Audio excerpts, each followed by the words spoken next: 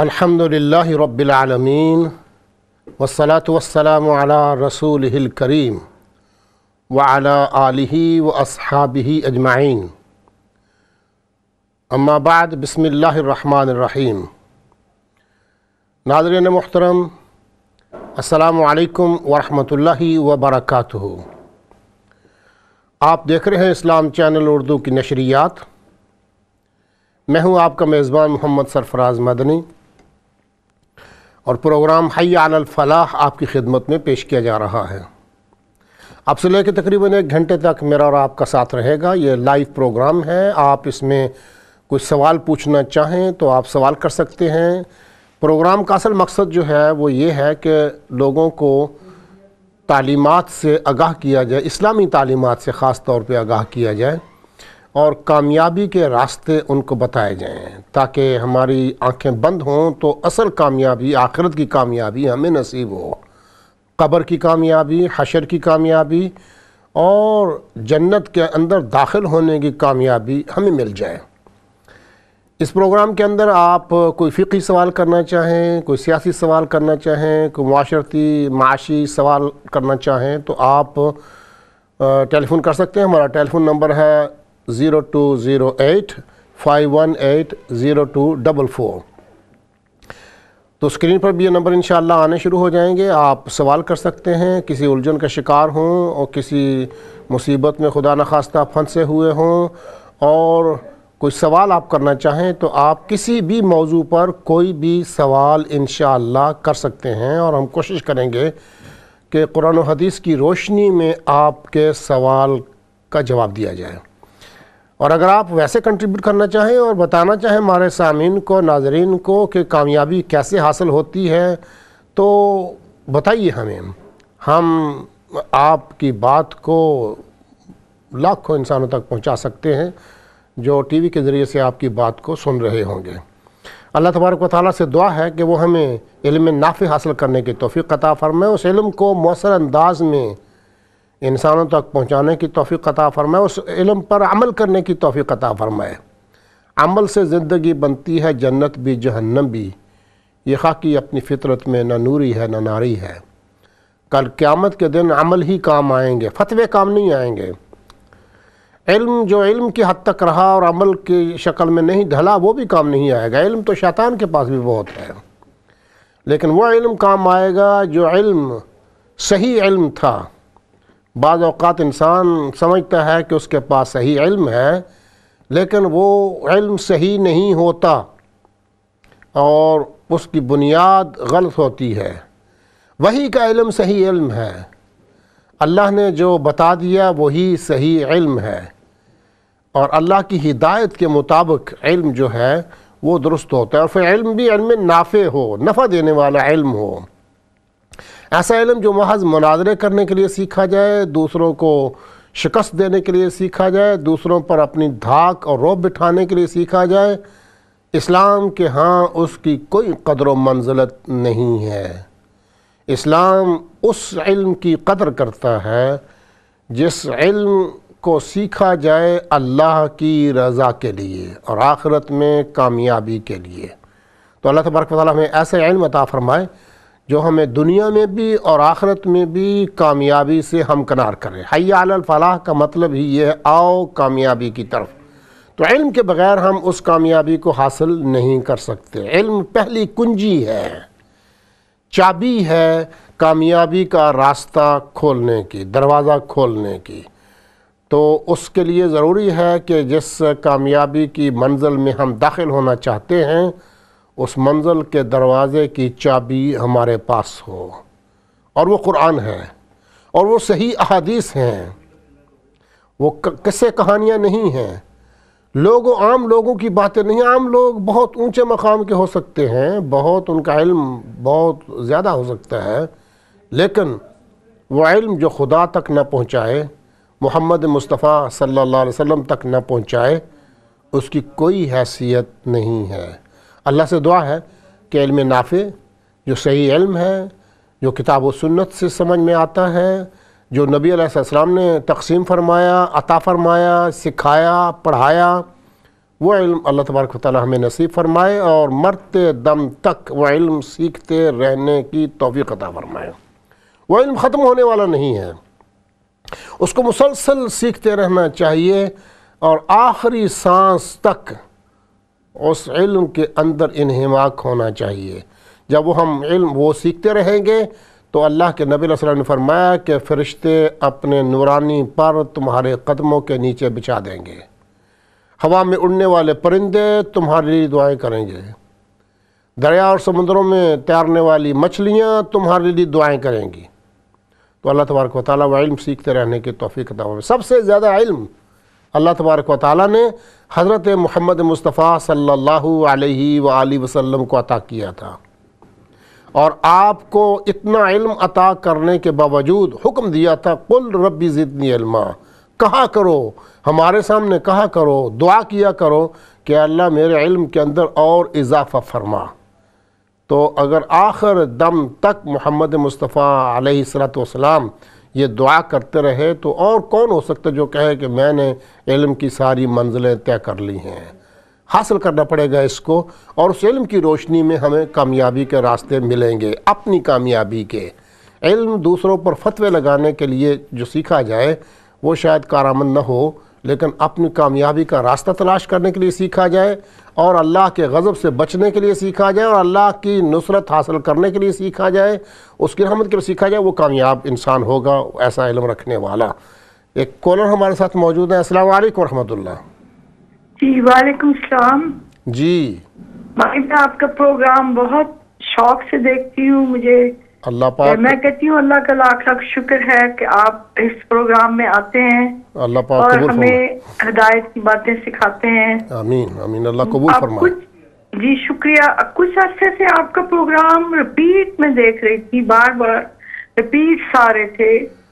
وہ کوئی پورے دو ماہ سے ایسے ہوتا رہا ہے۔ کیا وجہ تھی؟ تو اسٹوڈیو شفٹ ہو رہا تھا۔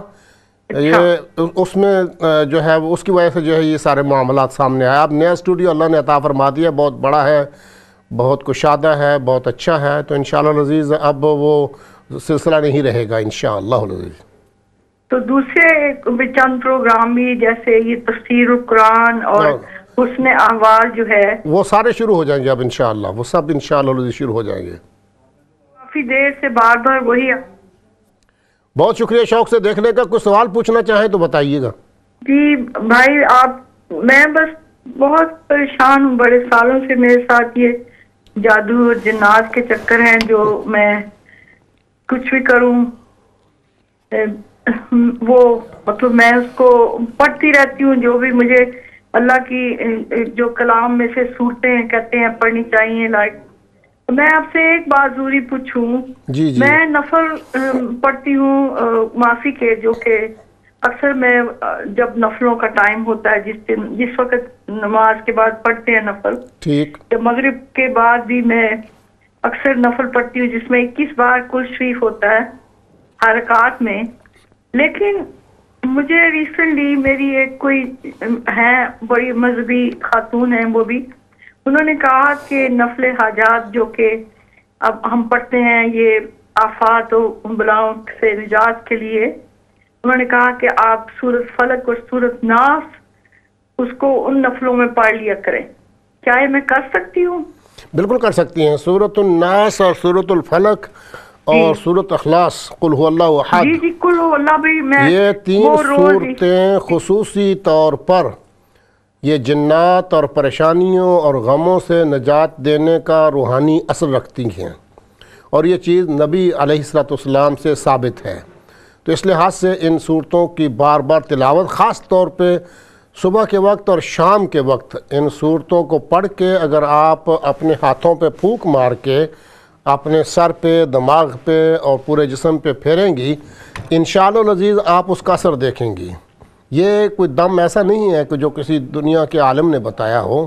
یہ یہ دم وہ ہے جو محمد مصطفیٰ صلی اللہ علیہ وسلم نے خود بتایا ہے۔ تو میں تو ایسے چیزوں پر یقین رکھتا ہوں جو نبی علیہ السلام سے ثابت ہیں۔ نبی علیہ السلام نے ہر چیز ہمیں بتا دی ہے کھول کے۔ تو یہ جتنے بھی پریشانیاں ہیں اور جنات کے حملے ہیں یا روحانی طور پر جتنے بھی ایولز ہیں، ان کے حملے ہیں ان کے شرور سے بچنے کے لیے تعوض اعوذ باللہ من الشیطان الرجیم، اور لا حول ولا قوت الا باللہ العلی العظیم۔ اور اسی طرح یہ تین صورتیں آخری جو ہیں، جن کو تین کل کہتے ہیں، یہ اپنے اندر بہت بڑا اثر رکھتی ہیں۔ تو ان کو پڑھیے گا انشاءاللہ عزیز اور اللہ تبارک و تعالیٰ آپ کو سکون عطا فرمائے گا۔ آپ کو سکون اللہ کی طرف سے ہے۔ اور اللہ تبارک و تعالیٰ عطا فرماتا ہے جب اس سے مانگا جائے، گڑ گڑا کر اخلاص کے ساتھ اس سے محبت کرتے ہوئے، اس کے ساتھ عقیدت رکھتے ہوئے، اس کی توحید کو اپناتے ہوئے، اس کے آخری نبی حضرت محمد مصطفیٰ علیہ السلام سے سچی محبت کرتے ہوئے جب آپ دعائیں کریں گے اور صلاۃ الحاجت تو نبی علیہ السلام سے ثابت ہے اور اب آپ علیہ السلام اپنے ساتھیوں کو سکھایا کرتے تھے کہ جب بھی کسی مصیبت میں ہوں آپ پڑھا کریں۔ بلکہ حدیث میں تو یہ آتا ہے، حضرات صحابہ کرام رضی اللہ تعالیٰ مجمعین کہا کرتے تھے کہ ہم دو رکت نماز پڑھ کے صلاۃ الحاجت پڑھ کے اللہ سے ہر چیز لے لیتے ہیں۔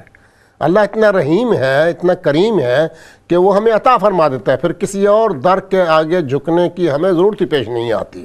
اب جو اللہ کے سامنے جھک کیا ہے، اسے اور کسی چیز کی کیا ضرورت ہوگی؟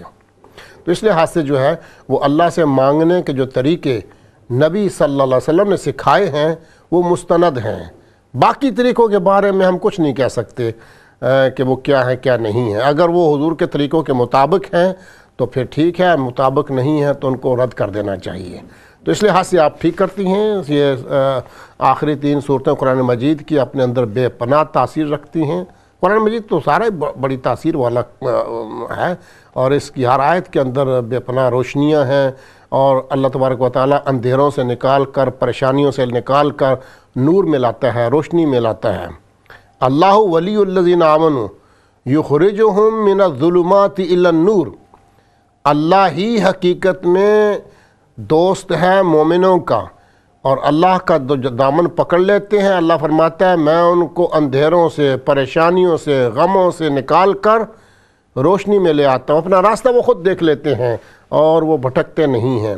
تو اس لحاظ سے اللہ کو یاد کرنا اور اللہ کے حبیب علیہ السلام کے طریقوں کے مطابق یاد کرنا کامیابی کا راستہ ہے۔ اللہ تبارک و تعالیٰ آپ کے فون کرنے کو قبول فرمائے۔ پروگرام کو آپ جو پسند کرتی ہیں، اس سے پتہ چلتا ہے کہ آپ دین سے محبت کرنے والی ہیں۔ اللہ تبارک و تعالیٰ اس دین کی محبت کو ہمارے دلوں میں بھی پوری طرح جاگزی کر دے اور آپ کو بھی اللہ تبارک و تعالیٰ اس پر قائم رکھے اور اللہ ہمیں مرتے دم تک اس دین کے ساتھ سچی محبت کی توفیق عطا فرمائے۔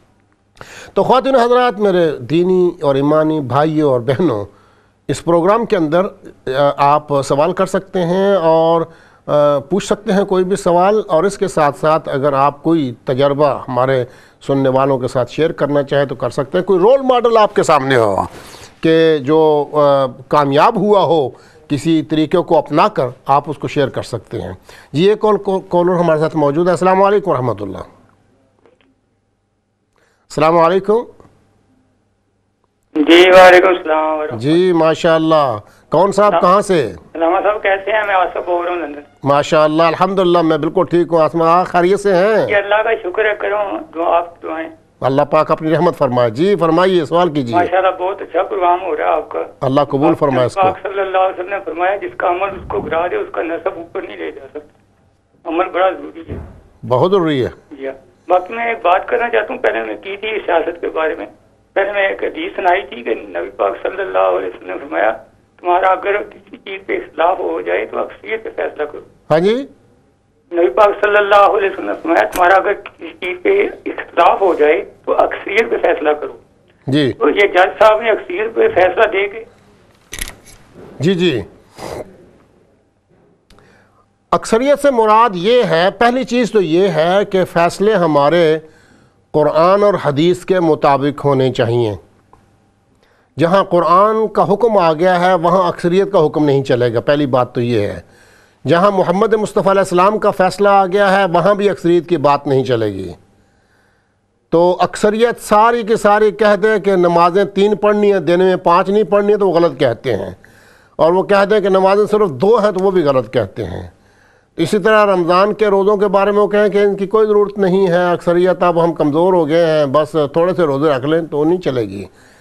مراد یہ ہے کہ سب سے پہلے یہ دیکھا جائے گا کہ اللہ کا حکم کیا ہے، اس کے بعد دیکھا جائے گا محمد مصطفیٰ علیہ السلام کے احکامات کیا ہیں۔ ان کے مطابق فیصلے کرنے چاہیے۔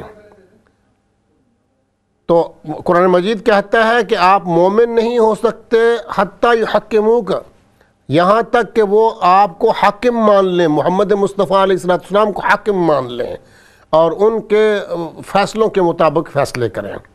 اس کے بعد اگر قرآن و حدیث کے اندر وہ مسئلہ موجود نہیں ہے، حدیث رسول مقبول کے مطابق بھی کلیئر کٹ کوئی پتہ نہیں چلتا ہے، تو پھر اس طرح کی نظیریں قرآن و حدیث میں دیکھنی پڑیں گی۔ وہی بات جو حضرت معاذ کو رضی اللہ تعالیٰ عنہ کو نبی علیہ السلام نے سکھائی تھی کہ جب آپ کو یمن کی طرف بھیجا جا رہا تھا تو آپ نے پوچھا معاذ کو رضی اللہ تعالیٰ عنہ کو کہ معاذ، وہاں تم جا رہے ہو، مجھ سے دور ہوگے یہاں قرآن مجید کی آیتیں اتر رہی تھیں، تم سن رہے تھے، میں باتیں کر رہا تھا، تم سن رہے تھے۔ تو وہاں یمن میں تم میرے نمائندہ ہو، میں تمہیں مبلغ بنا کے، وہاں کا گورنر بنا کے بھیج رہا ہوں۔ تو وہاں تمہارے سامنے سوال ہوں گے، لوگ پوچھیں گے، اس مسئلے کا کیا حل ہے؟ تو آپ کیسے جواب دیں گے؟ تو انہوں نے کہا کہ میرے پاس جتنے بھی قرآن مجید کی آیات آئی ہیں اور جو بعد میں نازل ہوں گی، ان کا بھی میں علم حاصل کرتا رہوں گا۔ میں قرآن مجید کے حکموں کے مطابق ان کے سوالوں کا جواب دوں گا۔ نبی علیہ السلام فرمایا کہ معاذ، اگر قرآن کی آیتوں کے اندر ان کے سوال کا جواب آپ کو نہ ملے، کوئی بالکل نیا سوال ہو، پھر کیا کریں گے؟ تو انہوں نے کہا کہ اللہ کے نبی صلی اللہ علیہ وسلم آپ کی خدمت میں رہا ہوں، پتہ ہے مجھے کہ آپ نے مختلف اوقات پہ کیا کیا ہدایتیں دی ہیں، کیا رہنمائی دی ہے۔ تو میں آپ کی سنت کو دیکھوں گا اور اس میں تلاش کروں گا اس سوال کا جواب اور ان کو جواب دینے کی کوشش کروں گا۔ نبی محترم صلی اللہ علیہ وسلم بہت خوش ہوئے۔ تیسرا سوال یہ کیا کہ آپ یہ بتائیں کہ وہ قرآن میں بھی بات آپ کو نہ ملے اور حدیث رسول مقبول میں بھی وہ بات نہ ملے تو پھر کیا کریں گے؟ بالکل نئی بات ہو تو۔ تو حضرت معاذ رضی اللہ تعالیٰ نے کہا کہ اللہ کے رسول، میں قرآن کو سامنے رکھتے ہوئے، حدیث کو سامنے رکھتے ہوئے پھر اپنی رائے بنانے کی کوشش کروں گا کہ اس سوال کا جواب کیا ہو سکتا ہے۔ نبی السلام بہت خوش ہوئے، آپ کی آنکھوں میں چمک آ گئی، آپ کے چہرے پر بشاشت آ گئی اور آپ نے اللہ کا شکر ادا کیا کہ اللہ تیرا شکر ہے، تو نے مجھے ایسے ہی لوگ عطا کیے جس طرح کے لوگ میں پسند کرتا تھا۔ تو اس لحاظ سے جب بھی کسی سوال کا جواب دیں، جج ہو، قاضی ہو، حاکم ہو، عالم ہو، مفتی ہو وہ قرآن کو پہلے دیکھے پھر محمد مصطفیٰ علیہ السلام کی حدیث کو دیکھے اور پھر اس کی روشنی میں اگر اپنی رائے کو استعمال کرے تو کر سکتے ہیں۔ اس کی رائے کہاں تک مانی جا سکتی ہے اس پہ بات کرتے ہیں لیکن ایک کولر اور ہمارے ساتھ موجود ہے۔ السلام علیکم ورحمۃ اللہ۔ وعلیکم السلام۔ جی۔ میں سوال پوچھنا چاہتی ہوں۔ فرمائیے۔ لا الہ الا اللہ۔ لا الہ الا اللہ نا۔ اللہ لام پر زبر ہے اللہ جی۔ اللہ جی۔ یہ تصویر تسی کر سکتے ہیں؟ بالکل پڑھ سکتے ہیں آپ۔ لا الہ الا اللہ جو ہے وہ سب سے بہتر ذکر ہے۔ اچھے اذکار میں سے سب سے اچھا ذکر جو ہے وہ لا الہ الا اللہ ہے۔ حضرت موسیٰ علیہ السلام کے بارے میں آتا ہے حدیث کے اندر کہ انہوں نے پوچھا تھا اپنے رب سے، اے اللہ، مجھے سب سے افضل ذکر بتا دیجیے۔ تو اللہ نے کہا کہ لا الہ الا اللہ کہا کرو۔ تو انہوں نے کہا کہ یہ تو سب جانتے ہیں، سب نبیوں نے یہی کلمہ پڑھایا ہے۔ مجھے کو خصوصی عطا فرمائیے۔ تو اللہ نے فرمایا، یہی خصوصی ذکر ہے اور یہی سب سے افضل ہے۔ اور قیامت کے دن اسی کا پلڑا سب سے بھاری ہوگا۔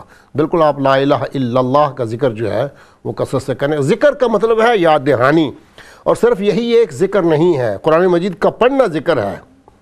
انا نحن نزلنا ذکر و انا لہو بہترین ذکر قرآن مجید کو بھی کہا گیا ہے اور قرآن پاک کی آیت جو میں نے آپ کے سامنے پڑھی ہے، اس میں اللہ نے فرمایا، انا نحن نزلنا ذکر و انا لہو لحافظون۔ نماز ذکر ہے، قرآن مجید کہتے ہیں عقیم الصلاۃ لذکری یہ میرا ذکر ہے، نماز قائم کرو۔ نبی علیہ السلام پر درود پڑھنا ذکر ہے۔ تسبیحات پڑھنا ذکر ہے، اللہ اکبر کہنا ذکر ہے، سبحان اللہ کہنا ذکر ہے، لا حول ولا قوت کہنا ذکر ہے، بسم اللہ پڑھنا ذکر ہے۔ نبی علیہ السلام پہ بار بار درود پڑھنا بہت بڑا ذکر ہے۔ تو اس لیے جو بھی ذکر آپ کے دل کو اچھا لگے اس کو کیجیے، لیکن اگر وہ ذکر قرآن و حدیث سے ثابت ہو تو تب گارنٹی ہے۔ ورنہ یہ یہ عام لوگوں کے سکھائے ذکر کے بارے میں میں کچھ نہیں کہہ سکتا۔ میرے پاس جب نبی علیہ السلام کا سارا اسوہ موجود ہو، آپ کی پوری سیرت موجود ہو، تو مجھے کسی اور سے پوچھنے کی پھر ضرورت نہیں ہے۔ علماء کا کام صرف آپ کی باتوں کو ایکسپلین کرنا ہے۔ اپنی طرف سے گھڑ کے باتیں بتانا ان کا کام نہیں ہے۔ ان کا کام یہ ہے کہ وہ نبی علیہ السلام سے سیکھیں اور پھر آگے اس کو سکھائیں۔ اب نبی علیہ السلام سے کیسے سیکھا جا سکتا ہے؟ قرآن آپ نے سکھایا، وہ ہمارے پاس موجود ہے، اس کے اندر ایک لفظ کی رد و بدل نہیں ہوا ہے۔ پھر آپ کی صحیح احادیث موجود ہیں۔ کمزور حدیثیں نہ لیں، موضوع حدیثیں نہ لیں، گھڑی ہوئی حدیثیں نہ لیں۔ اصل روایتیں جو صحیح، مستند طریقے سے ہم تک پہنچی ہیں۔ ایک اور کولر ہمارے ساتھ موجود ہے۔ السلام علیکم ورحمۃ اللہ۔ جی وعلیکم وعلیکم السلام بھائی۔ میں پہلے میری کال کٹ گئی تھی۔ میں نے آپ سے یہ میں بتانا چاہ رہی ہوں کہ اسی جنات اور جادو کے بارے میں پہلے میں نے آپ سے ذکر کیا آپ نے بڑے اچھا جواب دیا۔ آپ کا جی۔ بہت بہت شکریہ۔ لیکن میں میرا سوال یہ ہے کہ میں تقریباً گیارہ بارہ سال دیکھیں میں چار پانچ سال ہر روز رات کو یہ سمجھ لیں چھ سال سات سال رات کو اکتالیس بار گل شریف اور اکیس اکیس بار یہ فلک ناس فلک فلک یو نو خلق خلق اور صورت فلک اینڈ صورت ناس پڑھتی رہی ہوں۔ اور اب میں ہر روز رات کو سوتے وقت اب اب بھی دس گیارہ سال سے میں جب لیٹتی ہوں تو درود شریف کے بعد میں آیت الکرسی سات بار پھر تین تین بار کل شریف اور دوسری جو ہے سورت فلک اور سورت ناز پھر سات دفعہ آیت الکرسی اس کے بعد پھر درود شریف جی پڑھ جی کے جی جی۔ سوال کیا ہے؟ اکیس بار اور پھر اکیس بار وہ اور اکیس بار سورج فلک ناس۔ اور پھر اس کو میں نفلوں میں بھی پڑھتی ہوں لیکن ساری چیزیں جو ہیں وہ میرے پر جوں کی تو ہیں اور وہ ٹھیک نہیں ہو رہی اور دور نہیں جا رہی۔ جی جی جی۔ اس لیے میں نے آپ سے دوبارہ کال کیا ایم ریلی سوری بہت خوب بہت بہت اچھا کیا آپ نے کوئی سوری کرنے کی ضرورت نہیں ہے بہت اچھا کیا آپ نے۔ آپ بالکل سوال کریں، بار بار کریں، بار بار پوچھیں۔ دیکھیں جس طرح جسمانی بیماریوں کا علاج دوائیں ہیں نا، اسی طرح روحانی بیماریوں کی بھی دوائیں ہیں۔ جسمانی بیماریوں کے لیے جو استعمال کیجیے ان کو ان کو ہم دیکھتے ہیں کہ ایک مریض پہ ایک دوا کام کرتی ہے اور وہی دوا اسی طرح کے مرض پر دوسرے مریض پر کام نہیں کرتی۔ تو ڈاکٹر ان کو بدل دیتے ہیں، اس کو چینج کر دیتے ہیں۔ لیکن اس کے ساتھ ساتھ ڈاکٹر یہ بھی دیکھتے ہیں کہ آپ کا رہن سہن کیسا ہے، آپ کھاتی پیتی کیا ہیں۔ کچھ چیزیں کھانے پینے میں آپ کو وہ منع کر دیں گے کہ آپ یہ نہ کھائیں، اس وجہ سے آپ کی بیماری بڑھ رہی ہے۔ اور کچھ چیزیں پینے سے منع کر دیں گے۔ اسی طرح روحانی طور پر بھی آپ کو اپنے اعمال کو دیکھنا ہوگا۔ اس میں صرف دوا لینے سے کام نہیں چلتا، بلکہ کچھ نہ کچھ پرہیز بھی کرنا پڑے گا۔ تو آپ، میرا اور آپ کا جسم اللہ نے بڑا عجیب بنایا ہے، بہت ہی عجیب۔ انسان انسان کی مخلوق، انسان کی تخلیق جو ہے، وہ انسان ایسی مخلوق ہے کہ وہ اللہ کی سب سے بہترین مخلوق ہے۔ بہت ہی کمپلیکیٹڈ ہے۔ اور اس کو ایسا بنا دیا اللہ تبارک و تعالیٰ نے کہ جب سے انسان بنا ہے، انسان اپنے وجود پر غور کر رہا ہے۔ قرآن بھی کہتے ہیں وفی انفسکم افلا تبصرون۔ اپنے آپ پہ غور کریے، اپنے آپ پہ، اپنے آپ کو سمجھنے کی کوشش کریں۔ ایک انسان کے اندر کئی نظام چل رہے ہیں۔ کھانے پینے کا نظام ہے، دیکھنے کا نظام ہے، سننے کا نظام ہے، بولنے کا نظام ہے سونگنے کا نظام ہے ہضمے کا نظام ہے، نظر کا نظام ہے، سماعت اور بصارت کا کئی نظام، تنفس کا نظام ہے اور ان کو خوبصورتی کے ساتھ چلایا جا رہا ہے۔ ان کے اندر جب کوئی نقص واقع ہوتا ہے تو جو اس ظاہری جسم کو سمجھتے ہیں وہ پھر بتاتے ہیں کہ یہ کیجیے اور ان کا بتانا بعض اوقات فائدہ دیتا ہے اور بعض اوقات فائدہ نہیں دیتا۔ تو ہم ایک کے بعد پھر دوسرے ڈاکٹر کے پاس چلے جاتے ہیں، اس سے زیادہ اچھا ڈاکٹر جو ہے وہ پانے کی کوشش کرتے ہیں۔ تو یہ نہیں کہتے کہ دوا کے اندر اثر نہیں ہے، بلکہ یہ کہتے ہیں کہ وہ دوا آپ کو موافق نہیں آ رہی ہے کسی وجہ سے۔ اس میں آپ کا اپنا قصور ہو سکتا ہے، یا اس میں تجویز کرنے والے نے تجویز صحیح نہیں کیا ہے اور وہ آپ کی بیماری کو اچھا طرح دیکھ نہیں سکا ہے۔ تو یہ ساری چیزیں جو ہیں وہ چیزیں ہیں۔ نبی علیہ وسلم لکلی دا ان دوا ان ہر ایک بیماری کا علاج اللہ نے پیدا کیا ہے۔ سوائے موت کے ہر بیماری کا علاج موجود ہے۔ تو اب اس کے لیے جو ہے وہ دیکھتے ہیں ڈاکٹروں کے پاس، پھر ہم کبھی ایک کے بعد، دوسرے کے بعد، اور پھر ٹیسٹ کرواتے ہیں، پھر ساری چیزیں۔ تو اس لیے مایوس نہ ہوں، روحانی بیماریوں کے لیے آپ کو جو نبی علیہ السلام نے نسخے بتائے ہیں، نسخ نیم حکیم کے پاس نہ جائیں۔ حکیم اچھا ہو، وہ روحانی حکیم جو ہے، خود عمل کرنے والا ہو، دنیا کے چاہنے والا اور دنیا کمانے والا نہ ہو۔ اس لحاظ سے، باقی باتیں انشاءاللہ ہم وقفے کے بعد کرتے ہیں۔ وقفے کا دوبارہ آپ سے ملاقات ہوتی ہے۔ السلام علیکم ورحمۃ اللہ وبرکاتہ۔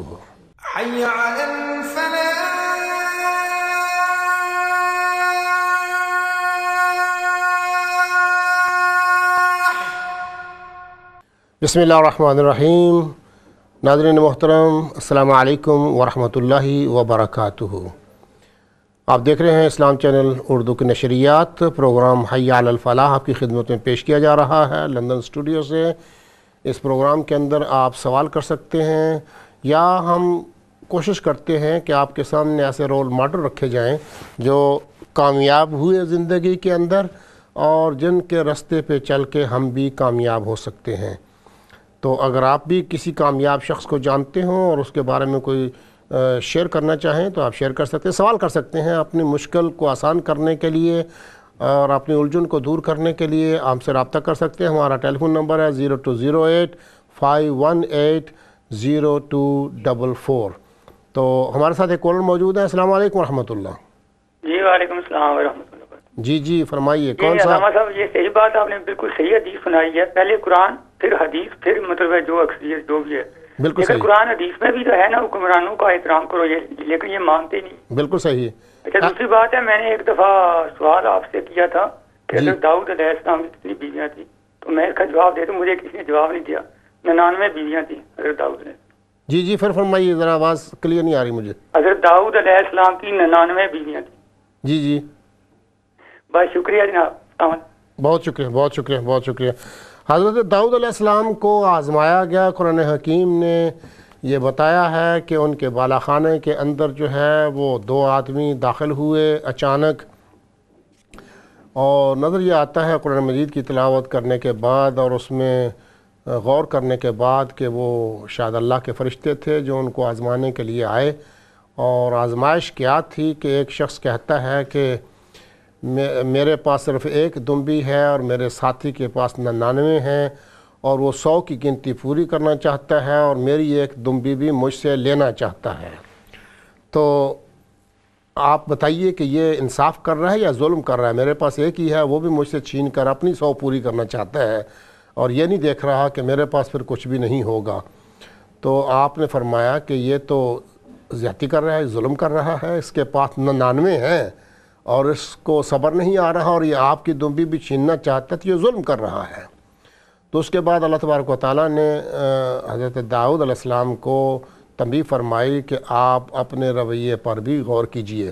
وہ رویہ کیا تھا؟ آج کے پروگرام کے اندر شاید تفصیل سے گفتگو نہ ہو سکے۔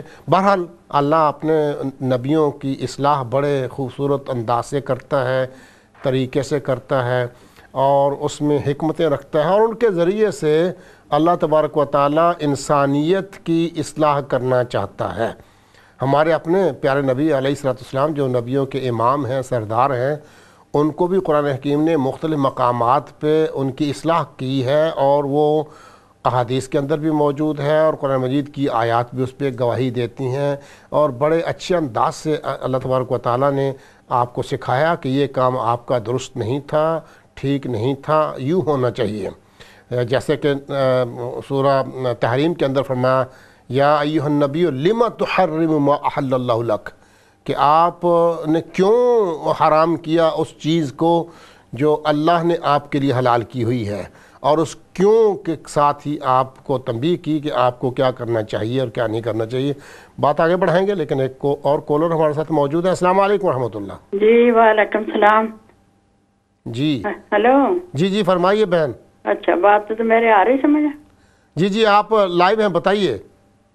ਜੀ ਉਹ ਮੇਰੇ ਨਾ ਸਿਰ ਨੂੰ ਕੋਈ ਕਸਰ ਆ ਤੇ ਡਾਕਟਰਾਂ ਨੂੰ ਪਤਾ ਨਹੀਂ ਲੱਗ ਰਿਹਾ। ਹਾਂਜੀ। ਉਹ ਸਾਰਾ ਮੇਰੇ ਸਿਰ ਨਾ 15 ਸਾਲ ਹੋ ਗਿਆ ਇਹਨੂੰ ਹਿਲਦੇ ਨੂੰ ਬਹੁਤ ਹਿਲਦਾ ਅੰਦਰੋਂ ਹਿਲਦਾ ਵਾ। ਅੱਛਾ। ਤੇ ਉਹ ਸਾਰੀਆਂ ਬਾਹਾਂ ਵੀ ਹਿਲਦੀਆਂ ਪਿੱਛੋਂ ਪਾਉਣ ਵੀ ਸਾਰੀਆਂ ਹਿਲਦੀਆਂ 15 ਸਾਲ ਹੋ ਗਏ। ਜੀ ਜੀ ਜੀ। ਕਿਸੇ ਡਾਕਟਰ ਨੂੰ ਨਹੀਂ ਸਮਝ ਆ ਰਹੀ ਤੇ ਮੈਨੂੰ ਬੜਾ ਇਹਨੇ ਤੰਗ ਕਰਿਆ ਹਾਂ। ਠੀਕ ਠੀਕ। بس اللہ اللہ سے دعا کریں، اللہ تبارک و تعالیٰ سے دعا مسلسل کرتے رہیں اور اس سے کہیں کہ اللہ وہ آپ کو شفا عطا فرمائے اور یہ کہیں کہ اللہ شفا دینے والا تو ہی ہے اور تو اپنی رحمت فرما۔ اللہ تبارک و تعالیٰ نے یہاں پہ ہر انسان کو آزمانا ہے۔ کسی کو صحت دے کے آزماتا ہے، کسی کو دکھ، بیماری دے کے آزماتا ہے۔ کسی کو پیسے دے کے آزماتا ہے، کسی کو فاقے دے کے آزماتا ہے۔ تو اس آزمائش میں صبر و شکر کے ساتھ آگے چلتے رہنا چاہیے، لیکن اسی سے مانگتے رہنا چاہیے۔ جب پریشانی آئے تو مانگے بھی اسی سے، گھبرائیں نہیں۔ یہ سمجھیں کہ اللہ تبارک و تعالیٰ نے جس حال میں مجھے رکھا ہوا ہے، میں اس پہ خوش ہوں۔ تو اللہ کی رضا پہ راضی رہنا، پھر اسی سے مانگتے رہنا۔ لیکن جسمانی امراض کا علاج بھی کرواتے رہنا چاہیے۔ یہ نبی علیہ السلام کی سنت ہے۔ آپ نے اپنے اصحاب کو بھی یہی حکم فرمایا تھا اور ان کی تربیت بھی ایسے ہی کی تھی۔ خود بھی بیمار ہوتے تھے تو اس کے لیے دوا لیتے تھے۔ اللہ تبارک و تعالیٰ نے کائنات کے اندر جو بیماریاں پیدا کی ہیں، ان کا علاج بھی پیدا فرمایا ہے۔ لیکن کچھ بیماریاں ایسی ہوتی ہیں جو وقت لیتی ہیں دور ہونے کے لیے۔ اور کچھ بیماریاں اتنی شدید ہوتی ہیں کہ شاید وہ زندگی بھر ساتھ رہتی ہیں۔ تو اس لیے دعا کرتے رہنا چاہیے اور اس کے ساتھ ساتھ دعا بھی کرتے رہنا چاہیے۔ دونوں چیزیں کرتے رہنا چاہیے۔ یعنی اللہ سے بھی مانگتے رہنا چاہیے اور شفا اور ڈاکٹروں سے رجوع کرتے رہنا چاہیے۔ اور اللہ تبارک سے مایوس کبھی نہیں ہونا چاہیے۔ اور اللہ سے کہنا چاہیے کہ اللہ اس کو ختم فرما۔ یا مجھے صبر عطا فرما۔ صبر بھی ایک بہت بڑی کیفیت ہے کامیابی کے راستے کے لیے۔ اس کے بغیر انسان کامیاب نہیں ہوتا۔ تھوڑ دلا آدمی، جلدی گھبرا جانے والا آدمی اور جلدی مایوس ہو جانے والا شخص جو ہے، وہ اپنی زندگی میں کامیاب نہیں ہوتا۔ یہ تو گر گر کے سنبھلنے والی بات ہوتی ہے۔ اور جو گر گر کے سنبھلنے کی کوشش نہ کرے کہ ایک دفعہ گر گیا اور پھر ہمت ہار کے بیٹھ گیا کہ میں تو اب اٹھ نہیں سکتا، وہ کبھی کامیاب نہیں ہوتا۔ دل کے اندر حوصلہ ہونا چاہیے اور دل کے اندر امنگ ہونی چاہیے اور دل کے اندر اپنا بیماریوں کے خلاف لڑنے کی جرت ہونی چاہیے، دشمنوں کے خلاف لڑنے کی جرت ہونی چاہیے، شیاطین کے خلاف لڑنے کی جرت ہونی چاہیے، یہ کرج برقرار رہنی چاہیے۔ امید برقرار رہنی چاہیے۔ لا تقنت من رحمت اللہ۔ اللہ کی رحمت سے کبھی مایوس نہیں ہونا چاہیے۔ لیکن مسلسل اسی راستے پہ چلتے رہنا چاہیے۔ اللہ تبارک و تعالی منزل عطا فرماتے ہیں۔ کب آئے گی منزل، یہ اللہ ہی کو علم ہے۔ تو اس لیے گھبرائیں نہیں، اس سے مانگتے رہیں، اپنا علاج بھی کرواتے رہیں۔ اور اچھے ڈاکٹروں سے ملتے رہیں۔ ایک ڈاکٹر سے اچھا علاج نہیں ہو پا رہا، کسی اور ڈاکٹر کی طرف رجوع کریں اور معلوم کریں کہ کیا وجہ ہے۔ بعض اوقات ایک آدمی جو ہے، وہ بیماری کو پانے سے قاصر ہوتا ہے، دوسرا آدمی جو ہے، اس بیماری کو پا لیتا ہے۔ تو یہ اللہ نے ہر آدمی کو مختلف درجے کے علوم عطا فرمائے ہیں۔ تو اس لیے جو ہے جسمانی اور روحانی طور پر جو ہے، جو لوگ جاننے والے ہیں، ان سے رابطے کرتے رہیں۔ اللہ تبارک و تعالیٰ آپ کو شفا عطا فرمائے۔ اللہ آپ کی بیماریوں کو دور فرمائے۔ اللہ سب مسلمانوں کو اور سب انسانوں کو اللہ شفا عطا فرمائے۔ بہت شکریہ فون کرنے کا۔ خواتین حضرات، پچھلے ہفتے ہم نے ایک رول ماڈل کا ذکر کیا تھا اور وقت کی کمی کی بنا پہ ہم اسے مکمل نہیں کر پائے تھے، کیونکہ ہماری کوشش ہوتی ہے کہ آپ کے سوالوں کو ترجیح دی جائے۔ آپ کے ذہن کے اندر جو سوال مچلتے ہیں، ان کا جواب دینے کی کوشش کی جائے پہلے، اس کے بعد جو ہے وہ اپنے موضوع کو طرف آیا جائے۔ اور اس موضوع میں بھی ہم یہی پاتے ہیں کہ مختلف حالات جب انسان پہ آئیں تو وہ ان حالات کا مقابلہ کس طرح کریں۔ تو ہم ایک بہت ہی کامیاب شخص کا ذکر کر رہے تھے پچھلے پروگرام کے اندر، اور وہ کامیاب شخص ہیں سیدنا ابو حریرہ رضی اللہ تعالیٰ عنہ۔ بہت عظیم الشان شخصیت تھی آپ کی اور احادیث کے اندر ان کا نام چمکتا ہوا نظر آتا ہے، روشن ستاروں کی طرح جگمگاتا ہوا نام نظر آتا ہے اور آپ سے پانچ ہزار تین سو چوہتر احادیث، پانچ ہزار تین سو چوہتر احادیث آپ کو یاد تھی، زبانی آپ کو یاد تھیں اور آپ ایک دفعہ عبد الملک نے جو ہے وہ یہ بادشاہ تھا اس نے آزمایا، تاریخ میں آتا ہے کہ اس نے کہا کہ یہ کیسے ہو سکتا ہے کہ اتنی حدیثیں ایک آدمی کو یاد ہوں؟ تو اس نے یہ یہ کیا، تاریخ میں آتا ہے کہ اس نے حضرات صحابہ کرام جو اس زمانے میں موجود تھے، ان سب کو بلایا اپنے دربار کے اندر۔ اور ابو حیرت اللہ کو بلایا کہ آپ بھی آئیں اور صحابہ کرام کے سامنے یہ حدیثیں بیان کریں اور یہ بھی نبی علیہ السلام کی صحبت میں رہے ہیں، یہ تصدیق کریں گے کہ آپ جو حدیثیں بیان کریں ٹھیک ہیں یا نہیں ٹھیک ہیں۔ اس کے ساتھ اس نے بہت تیز لکھنے والے دو کاتب منگوائے اور ان کو پردے کے پیچھے الگ الگ کر کے بٹھا دیا کہ آپ دونوں جو ہیں، جو جو یہ بات کریں گے، اس کو لفظاً لفظاً آپ لکھیں گے۔ اس میں کے اندر کوئی کمی بیشی نہیں ہونی چاہیے۔ دونوں کو الگ بٹھا کے کہا کہ آپ پردے کے پیچھے ہیں۔ کسی کو نہیں پتا کہ آپ یہاں پہ موجود ہیں۔ قلم دوات ساتھ رکھیے اور ابو حرارہ جو بات کرے، اس کو نوٹ کرتے جائیں۔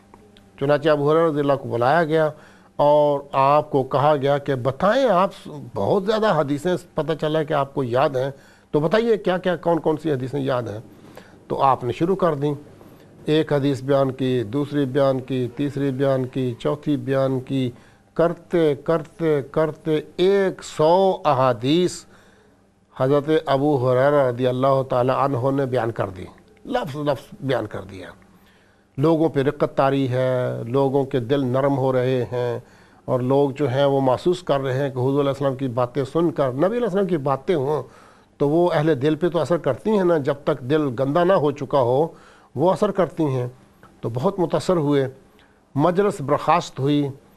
عبد الملک بن مروان نے ان کاتبوں کو بلایا اور ان کاتبوں سے کہا کہ آپ نے کیا لکھا ہے؟ ٹیسٹ کیا کہ کیا واقعتاً انہوں نے الگ الگ بیٹھ کے جو لکھا ہے وہ صحیح لکھا ہے یا نہیں لکھا ہے تو پتہ چلا کہ ان کی لکھائی کے اندر کوئی فرق نہیں ہے۔ تو اس نے وہ دونوں سے وہ کاغذ لے لیے اور ایک کا بھی اور دوسرے کا بھی اور دونوں کا جو ہے وہ مطالعہ کرنے کے بعد دیکھا کہ انہوں نے بالکل صحیح رپورٹنگ کی ہے۔ تو اس کے بعد ان کو بھیج دیا اور حضرت صحابہ کرام کو بھی بھیج دیا اور حضرت ابو حرارہ رضی اللہ تعالیٰ عنہ جو ہے وہ بھی آپ کی محفل سے اٹھ کر چلے گئے۔ اس پر ایک سال ہو گیا۔ ایک سال کے بعد اس نے کہا کہ میں اب آزماتا ہوں۔ اب اس نے حضرت ابو حرارہ رضی اللہ تعالی عنہ کو دوبارہ دربار میں بلایا اور بلا کر آپ کی عزت کی، اکرام کیا اور اسی طرح جو ہے یہ دونوں کاتبوں کو ان کے لکھی ہوئی رپورٹنگ ان کے ہاتھ میں دی اور ان کو دوبارہ پھر پردے میں بٹھا دیا۔ اور صحابہ کرام بھی تشریف فرما ہیں اور اس کے عبد الملک کے دربار کے اندر بہت ذہین فتین لوگ موجود ہیں۔ تو اس نے کہا کہ حضرت، پچھلے سال آپ سے ملاقات ہوئی تھی اور آپ نے جو سو احادیث بیان کی تھیں، ان سے ہماری روح کو بڑی تسکین پہنچی۔ تو میں یہ چاہتا کہ وہی حدیث اسی ترتیب کے ساتھ آپ ایک دفعہ پھر سنا دیجیے۔ چنانچہ حضرت ابو حریرہ رضی اللہ تعالی عنہ نے وہ ایک سال پہلے کی سنائی ہی احادیث، وہ پانچ ہزار تین سو چوہتر احادیث میں سے وہ سو حدیثیں جو تھیں، جو پچھلے سال عبد الملک کے دربار کے اندر آپ نے سنائی تھیں، ان کو سنانا شروع کر دیا۔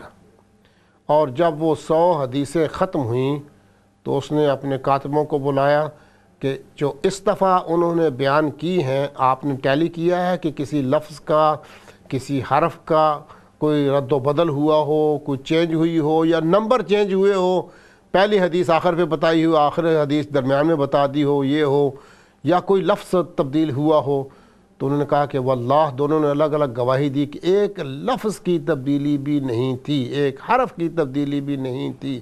من عن ایگزیکٹلی اسی انداز سے، جس انداز سے پچھلے سال انہوں نے بیان کی تھیں، انہی الفاظ کے اندر یہ احادیث بیان کر دیں۔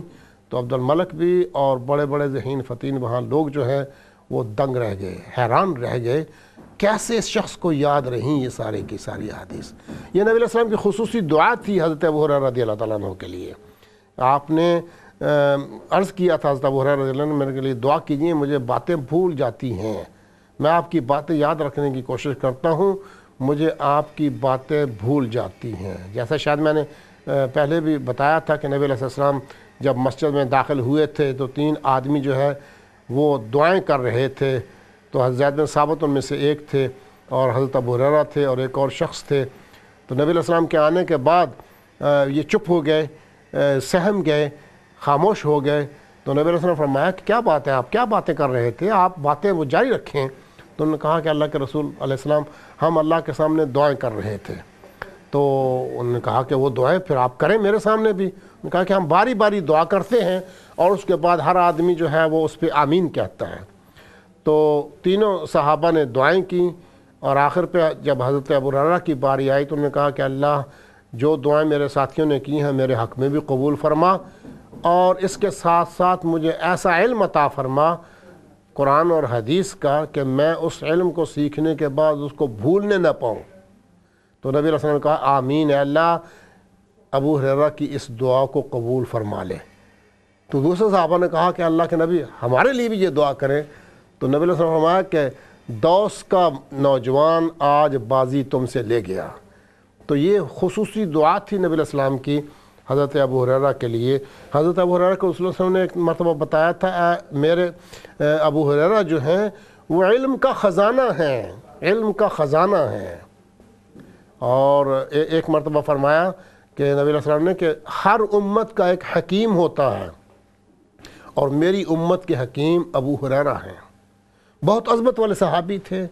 اور آپ کے پاس آئے تو پھر کوئی کاروبار، جب تک آپ نبی علیہ السلام زندہ رہے، کوئی کاروبار نہیں کیا۔ فقر و فاقہ جو ہے وہ برداشت کیا، لیکن تہیا کر لیا تھا ڈٹرمن تھے کہ نبی علیہ السلام کی محفل میں رہوں گا اور آپ سے سیکھ کر آپ کی باتیں دوسرے لوگوں تک پہنچاؤں گا۔ بات آگے بڑھاتے ہیں، لیکن ایک سوال ہمارے پاس آیا اسٹوڈیو کے اندر کہ صلاۃ التسبیح کے بارے میں کیا حکم ہے؟ تو پوچھا گیا کہ پڑھنی چاہیے یا نہیں چاہیے۔ صلاۃ التسبیح کے بارے میں روایت تو آتی ہے۔ اس روایت کی سند اتنی مضبوط نہیں ہے۔ یہ میں بتا دوں آپ کو۔ لیکن اتنی کمزور بھی نہیں ہے کہ اس کو بالکل ریجیکٹ کر دیا جائے۔ روایت یہ ہے کہ نبی علیہ السلام نے اپنے چچا کو یہ فرمایا تھا کہ آپ ایک نماز میں آپ کو بتاتا ہوں اگر آپ اس کو روز پڑھ سکیں تو روز پڑھیں، روز نہیں پڑھ سکتے تو ہفتے میں ایک مرتبہ پڑھیں، ہفتے میں ایک مرتبہ نہیں پڑھ سکتے تو مہینے میں ایک مرتبہ پڑھیں، اور مہینے میں ایک مرتبہ نہیں پڑھ سکتے تو سال میں ایک مرتبہ پڑھ لیں، اور سال میں بھی نہیں پڑھ سکتے، کم از کم زندگی میں ایک مرتبہ پڑھ لیں۔ اور اس کے بعد آپ نے بتایا کہ یہ آپ کے ظاہر گناہوں کو بھی معاف کر دے گی، اس نماز کی برکت سے اللہ پاک معاف کر دے گا آپ کو۔ اور آپ کے باطن گناہوں کو بھی اللہ پاک معاف کر دے گا۔ آپ کے چھوٹے گناہوں کو بھی معاف کر دے گا۔ آپ کے بڑے گناہوں کو بھی معاف کر دے گا۔ جو دن کی روشنی میں آپ نے کیے وہ بھی معاف کر دے گا، جو رات کے اندھیرے میں کیے وہ بھی معاف کر دے گا۔ جو لوگوں کے سامنے کیے وہ بھی معاف کر دے گا، جو لوگوں سے چھپ چھپ کر گناہ کیے وہ بھی معاف کر دے گا۔ جو گناہ آپ کو یاد ہے وہ بھی معاف کر دے گا۔ جو گناہ کرنے کے بعد آپ کو یاد بھی نہیں رہے وہ بھی معاف کر دے گا۔ نبی علیہ السلام اتنے خوبصورت انداز سے بتاتے گئے اور اس نماز کو پھر صلاۃ التصویر اس لیے کہا گیا کہ اس کے اندر نبی علیہ السلام فرمایا کہ چار رکت نماز پڑھی جائے اور چار رکت کے اندر تین سو بار تسبیحات پڑھی جائیں۔ سبحان اللہ والحمد للہ ولا الہ الا اللہ واللہ اکبر۔ تو یہ یہ جو ہے پچھتر مرتبہ ایک رکت کے اندر اور چار رکتوں کے اندر تین سو مرتبہ۔ تو اس لحاظ سے اس سند کا یعنی اتنا مضبوط جو ہے وہ روایت نہیں ہے، لیکن بہرحال علماء کرام نے اس کو قبول بھی کیا ہے اور اس کو فرض واجب نہیں سمجھنا چاہیے، نفل کے حد تک جو ہے لینے کے اندر کوئی حرج کی بات بھی نہیں ہے۔ اس کو اکیلے پڑھنے کا حکم دیا گیا ہے۔ اس کو نفل جماعت نمازیں جتنے بھی ہیں سوائے تراویح کے نبی السلام کا حکم یہی ہے کہ اس کو ان کو جو ہے وہ انفرادی طور پر کیا جائے۔ ان کے لیے نہ اذان کہی جائے نہ اقامت کہی جائے۔ جی کوئی اور بھی سوال کرنے والے ساتھی موجود ہیں؟ جی السلام علیکم۔ السلام علیکم ورحمۃ اللہ وبرکاتہ۔ وعلیکم السلام ورحمۃ اللہ۔ کون صاحب؟ حضور میں خان بریڈ فورڈ یورکشائر سے عرض کر رہا ہوں۔ جی۔ آپ نے بہت خوبصورت عمل عطا فرمایا۔ میں اس پر آپ کا شکر گزار ہوں اردو چینل کا۔ بہت شکریہ۔ حضور آپ سے ایک مزید کوئی عمل پوچھنا چاہتا ہوں تاکہ ہمارے جو روزمرہ کے حالات ہیں ان میں اخلاقیات اور محبت اور اخلاص اور صدق اور یقین کے ساتھ ایک دوسرے کے بارے میں یقین ہو ایک دوسرے کا ادب احترام کریں۔ ایسا کوئی ہم نے بتائے مثلا ایک دن یہاں آپ کے چینل پر ایک محترمہ ارشاد فرما رہی تھی کہ اس نے جو الفاظ التما- استعمال کیے وہ اچھے مجھے نہ لگے۔ تاکہ آپ کے ذریعے جو میسج جائے گا وہ اگر وہ خواتین سن رہی ہیں تو ان کے دل میں اپنے خامن کی محبت پیدا ہوگی اور اخلاق اور خلق کا جو مقام ہے ہمارے گھروں میں پھر ایک دا ایک بار اللہ حضور کے صدقے میں پھر وہ سمندر کی طرح ٹھاٹھے مارتا ہوا سمندر نظر آئے۔ آپ سے پوچھنا یہ ہے کہ کون سا ایسا عمل ہو جو خامد بیوی کے ساتھ اچھا برتاؤ کرے، جو اللہ اللہ کے رسول نے حقوق دیے، ان کو مد نظر نظر رکھ کر بچوں کا بچوں کا بھی احترام کرے اور بیوی کا بھی احترام کرے، بیوی خامد کا احترام کرے۔ اگر دونوں میاں بیوی جھگڑ پڑے تو پھر اولاد کا جو ہے، اس میں خرابی پہنے کے، پیدا ہونے کے آیا کتنے امکانات ہو سکتے ہیں۔ بہت شکریہ بہت شکریہ سوال کرنے کا میرے بھائی، بہت شکریہ۔ چپتا ہوا سوال کیا، حقیقت پر مبنی سوال کیا۔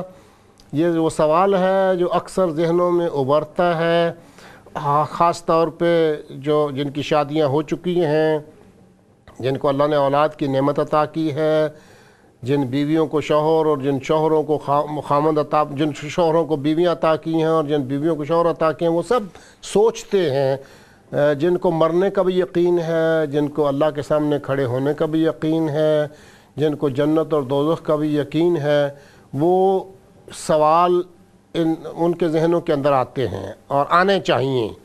اگر نہیں آتا ہے تو اس کا مطلب ہے کہ ذہن جو ہے وہ کلیئر نہیں ہے، ایمان سے خالی ہے۔ تو ایماندار آدمی کے اندر یہ سوالات آتے ہیں، بالکل آپ نے ٹھیک کہا ہے۔ تو اللہ تبارک و تعالی ہمیں اس طرح سوچنے کی توفیق عطا فرمائے کہ جو سوچ ہمیں آخرت میں کامیاب کر دے۔ اللہ تبارک و تعالی نے اور اللہ کے دین نے اور محمد مصطفیٰ صلی اللہ علیہ وسلم نے ہمیں ہر چیز کھول کر بیان کر دی ہے۔ اللہ تبارک و تعالی کہتا ہے کہ میں کھول کھول کر اپنی آیتیں آپ کے سامنے رکھ رہا ہوں۔ اور اس کی تفسیر حضرت محمد مصطفیٰ صلی اللہ علیہ وسلم نے اپنی نبوی زندگی میں عملاً کر کے، اس پر عمل کر کے بتا دیا ہے۔ اس لیے بیوی کو کیا کرنا چاہیے؟ قرآن و حدیث کے اندر واضح احکامات موجود ہیں۔ خامند کو کیا کرنا چاہیے؟ اس کے بھی احکامات موجود ہیں۔ اولاد کو اپنے والدین کے سامنے کیا کرنا چاہیے؟ وہ بھی احکامات موجود ہیں۔ اور والدین کو اولاد کے ساتھ کیا رویہ اختیار کرنا چاہیے؟ کھول کر نبی علیہ الصلوۃ والسلام نے بیان کر دیا۔ جس طرح نمازوں کے بارے میں بیان کیا نا فجر میں کتنی رکعتیں ہیں، پہلے کیا پڑھنا ہے یعنی رکعت شروع کیسے کرنی ہے، رکوع میں کیا پڑھنا ہے، سجدے میں کیا پڑھنا ہے، تشہد میں کیا پڑھنا ہے، یہ ساری چیزیں جس طرح تفصیل کے ساتھ بیان کر دیں۔ وضو کیسے کرنا ہے، تیمم کیسے کرنا ہے، غسل کیسے کرنا ہے، کھانا کیسے کھانا ہے، ہر چیز کی تفصیل بیان کر دی نا۔ اسی طرح تفصیل ہے بیویوں کے ساتھ کیسے رہنا ہے؟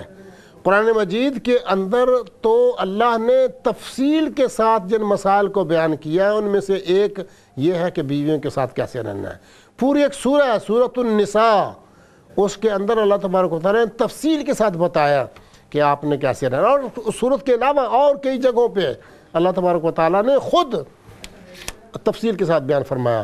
نماز کی اتنی تفصیل نہیں آئی ہے۔ کہ کیسے پڑھنی ہے؟ حدیث بھی آئی ہے وہ تفصیل۔ قرآن مجید میں صرف اس کو پڑھنے کا حکم دیا گیا ہے بار بار۔ اور نہ پڑھنے والوں کی سزا بتائی گئی ہے۔